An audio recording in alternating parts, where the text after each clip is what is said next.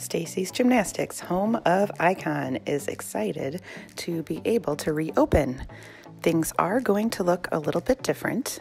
All competitive students will be dropped off from the Ice Arena parking lot and enter the building through the doors under the blue awning. Only gymnasts and coaches will enter the building.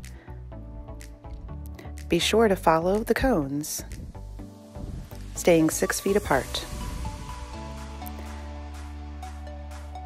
At the door, please wait to have your temperature scanned.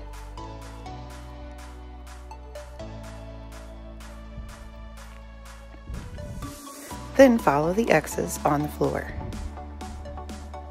Coaches will direct you to your X for the day. You will leave your belongings on your X. Be sure to bring a full water bottle, no sports drinks.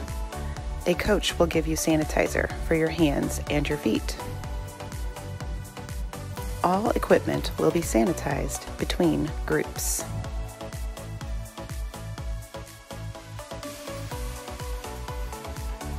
Sanitation stations are located at each event throughout the gym.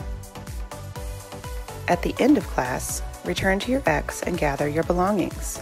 Students will be dismissed in small groups and exit through the doors under the black awning.